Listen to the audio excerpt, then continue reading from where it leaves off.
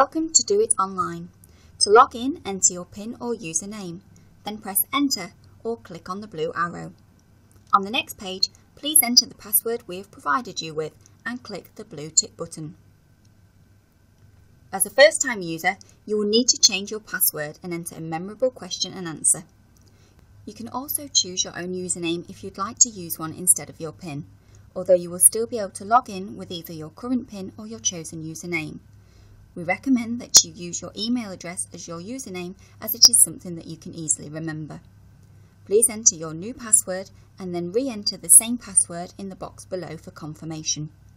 Please also supply a question and appropriate answer, and then confirm that answer in the box below. When you have completed the information, click on the blue tick button at the bottom of the page. You'll then be logged into Do It Online, where you can view your housing summary, including details of your rent account, repairs and calls, contact us, pay your rent, or log a repair.